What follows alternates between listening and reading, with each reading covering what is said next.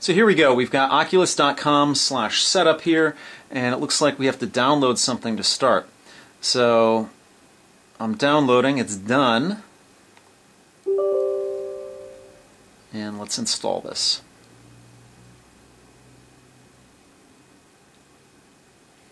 Welcome to Rift. We'll start by installing Oculus software. Then you can create an Oculus account and set up your Rift.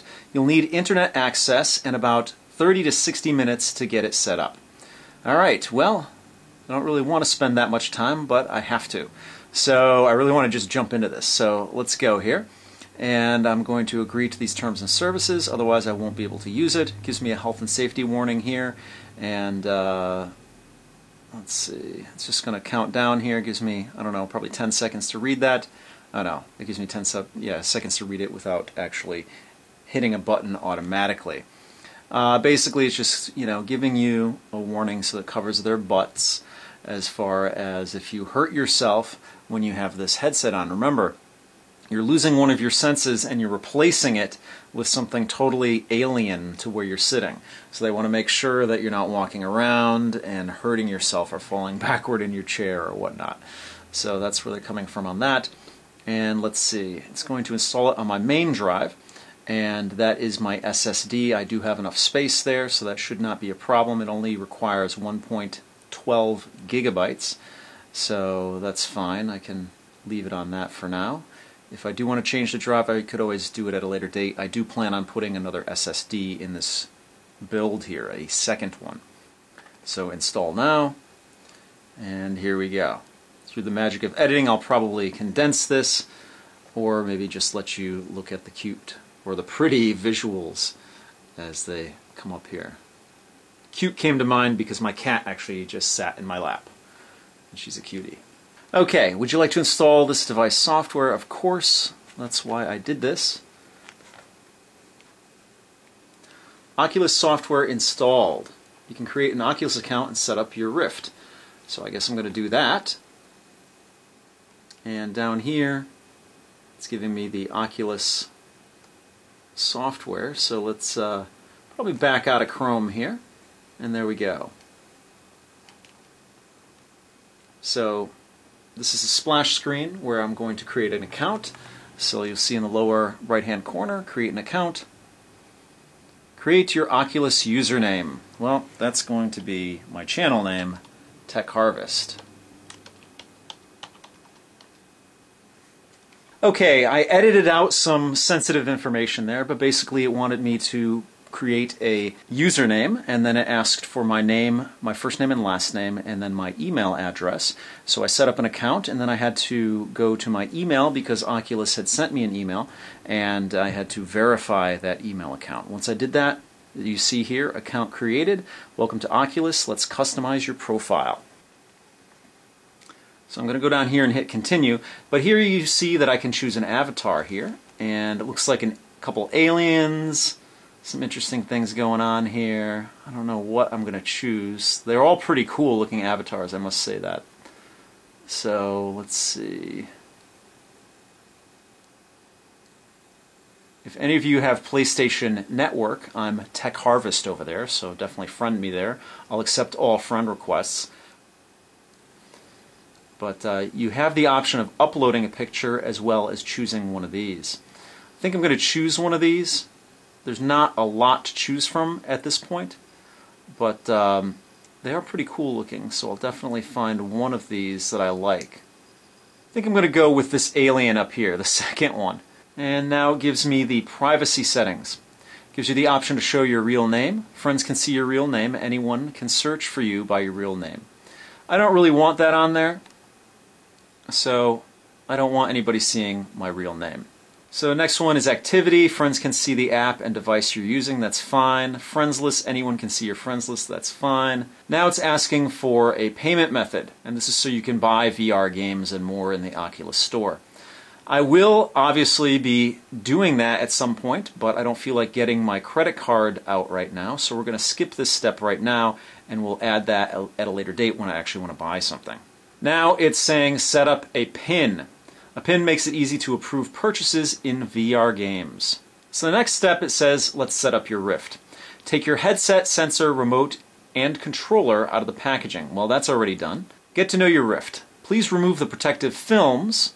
Do not expose lenses to direct sunlight. Use the provided lens cloth to clean the lenses. Lens cleaners that contain alcohol or other strong solvents may damage your lenses, so that's important to note. Lenses are fragile. Please handle your headset with care and do not drop it. Well, that kind of stands to reason. It's a very expensive device. Okay, it says connect your Rift headset. Plug in the cables of your headset and sensor now. You'll need to use two USB 3.0 ports on your computer and one HDMI port on your computer's graphics card. Now, the interesting thing is is that my TV is hooked up through HDMI right now. So, I had a little bit of a problem with the graphics card. The HDMI port on it no longer works, unfortunately. So, fast forward until right now, I have that solved. I have the graphics card replacement. I actually had to replace my graphics card. And that has been completed. So that is installed, and as you can see, the graphics card is working, no problem. So we're going to pick up where we left off. You might notice a little bit uh, of a microphone looking thing in the foreground in front of my television set. That is the Oculus sensor. That actually looks at some infrared lights that are on the headset itself. So nothing is connected as of right now. So we're going to run through the Oculus setup wizard again. Connect your Rift headset and Oculus sensor. Plug in the cables for your headset and sensor now. You'll need to use two USB 3.0 ports on your computer and one HDMI port on your computer's graphics card.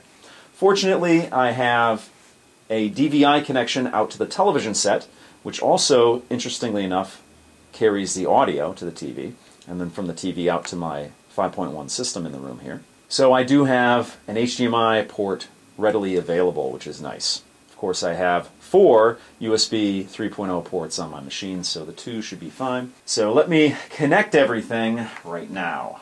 Okay, I connected the sensor, and you might be able to see there, it might be a little bit small, but it says sensor USB, okay. Perfect. Now it's time to plug in the Oculus Rift itself, and these are the two connectors on the cord that comes out of the headset. We have headset HDMI OK, headset USB OK, and sensor USB OK. Strangely enough, we have this interesting little box on the screen now. I don't know what that's all about. Let's see if it uh, stays or if it disappears. I'm going to hit Next here. Updating your firmware. Updating the firmware of your device gives you the best experience in VR. So I'm going to update this now. All right, update complete. I'm going to hit Continue here. Start your Oculus remote. Pull out the tab on the back of the remote, then press the center button on the front. So you probably can see slightly there. Let me show you. There's the tab. So I'm going to pull that out. So I tried and tried to pull, and it wouldn't come out, so I just removed the back of it. And maybe that's what it wanted me to do initially, but uh, maybe I. Well, this is a little bit more in depth. Okay, so I pulled and pulled and pulled and pulled on this thing, and it wouldn't come out. And that's because, you know, it was in like this and it was under this battery. So I just removed the back and pulled it out, and it actually pulled the whole battery out. That's okay, I'll just have to get it back in here, no problem. Probably snaps into place somehow here.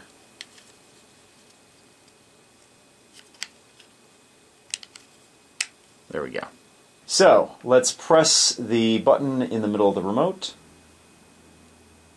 It says OK. About the remote. Use the remote to navigate VR and access the universal menu. The middle button is a select button. The disk around that select button is a navigation disk. Then you have a volume up, a volume down. You have a back button. And then you have the Oculus button, which will bring you back to the universal menu. Set up your Xbox One wireless controller. So I'm going to plug everything in. So everything is ready to go. Let's hit next here.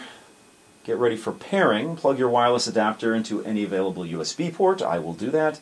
And the batteries are already uh, inserted into the Xbox One controller. So let's plug the actual uh, receiver end into the PC. All right, next step, let's see what we have. Press and hold the sync button on the wireless adapter, and then the same on the Xbox controller. So let's do that now. All right, Xbox controller is paired and ready to go, so that's good.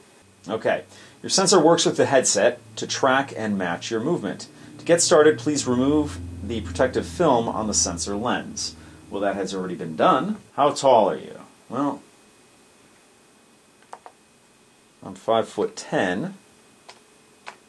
Place your sensor where you'll be using your Rift, at least 3 feet away from you. Point and tilt the glossy side of the sensor toward your face and remove anything that blocks you from the sensor. Okay, so we have a new camera angle here. I hope that works for you. Uh, the sensor, I kind of have it placed where I want it to be placed. And confirm sensor tracking, looking for Rift. So I probably have to put the Rift on at this point. Okay, so the sensor can't find the Rift, so just going to kind of hold it in front of me. Unfortunately, putting it on didn't say anything in there. It just told me to go back to the PC. So we're going to try again. All right, looking for Rift. There we go, finally. Ah, sensor tracking confirmed, finally. That was interesting. I don't know why that was doing that, but that's fine. We're going to go to continue here. Personalize your Rift. We designed Rift for comfort and performance. We'll show you how to get the most comfortable fit and calibrate your headset for the best VR experience. Uh, just shows you all the ways that uh, you can adjust this so you can fit it for your head. And customize your fit, loosen the side tabs, blah blah blah. Need to wear glasses with your Rift. Well, I am wearing glasses right now. Be interesting to see how that works with them on. I can put my contacts on if I need to. Okay, so I looked inside the Rift. Really, it's not telling me anything in there. It really wants me to go back out here. So uh, it, I've tried it on before. It fits fine. Fit complete. Let's go to the next step here. Prepare your space. I am pretty much prepared right now. Find the lens slider, and that is actually going to change the distance between the lenses depending on how um, how your eyes are, so it's more of a customized fit that way. Enter VR. Stand up and face the sensor. All right, this is what I'm waiting for. Attach the remote and put on your headset. Okay, so let's do this. Okay, so what I'm seeing in here says adjust your lenses. Move the headset up and down on your face until the horizontal lines are clear. So there's a crosshair in the Oculus itself. Push in and shift the lens slider until the vertical lines are clear. So this is adjusting the distance between the lenses. Okay, so what I did is I put my contacts in because I didn't want to wear this with my glasses. So you can't see uh, what it says in the headset itself, but it's just asking me to adjust the lenses, move the headset up and down on your face until the horizontal lines are clear push in and shift the lens slider until the vertical lines are clear. That basically is a uh, just a spacer between the actual lenses, and uh, everything looks really clear. I have a crosshair here, and I'm just going to press the uh, button on the remote to continue. All right, so I'm in a room, in a foggy room. I see a representation of the center sensor in front of me, and uh, it's kind of low. It's probably right, right where it actually is in real life. And uh, the sound on this is pretty good. And it says set your view in VR, stand up in the position you plan to use the VR, and look straight ahead. Press the select button on your remote to continue. So I'm going to do that. And I'm being scanned. I was scanned by the sensor, and it says default view successful. So I could redo it if I wanted to, or I could just continue. And it says, Welcome to VR. Please enjoy a few short experiences to start your VR journey. Press the select button to explore. So I press the select button and it's loading up an experience. So I'm in a VR room and you, you can see it. So I'm in Oculus Dream Deck right now, and I think you can see it. Yes, you can. Okay. You can skip any experience by pressing the select button on your remote, or the A button on your controller. I'm using the remote right now, I don't have the controller in hand. Although I, I do have two games, I think, with this, that came with this. Okay, cool. you're seeing this. So this is Dream Deck. I am in this uh, complete. I turn totally around. I'm in this world here. There's this tree. Everything is very uh, low polygon count, but that's the uh, the artistic design on this. So I can actually walk around in this world here. And okay, so we're moving to the next one. Oh, an alien. Very cool. Very cool. Wow. So I'm in this world. I'm walking around. He he is uh, following me. Ooh, he's disgusted by me. I must smell. I must smell bad to the alien. I I did shower today, so that's unfortunate. Yeah, that's uh. so very cool. Very cool. What's the next experience here? All right, this is cool. So, I can look down off of this building here. Wow, that's a uh, long way down there. Long way down.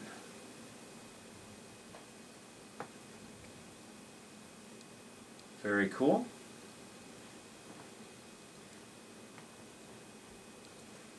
All right.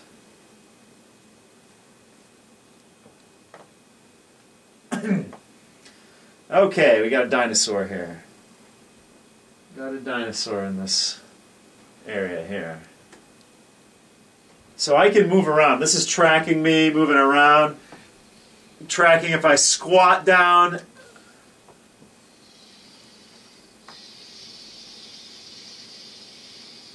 Very, very believable. Very believable. He's very he's about two feet from my face here, or maybe three feet.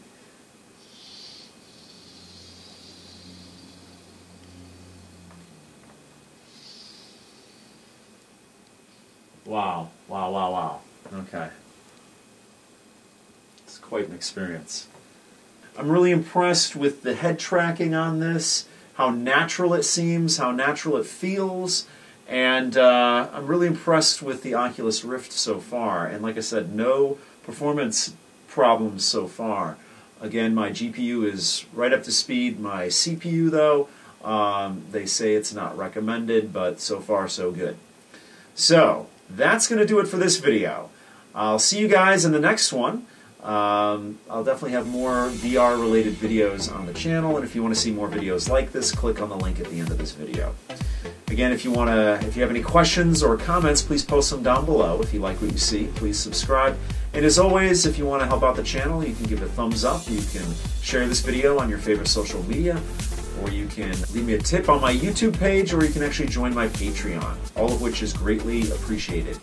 So thank you so much for watching, and I'll see you guys next time.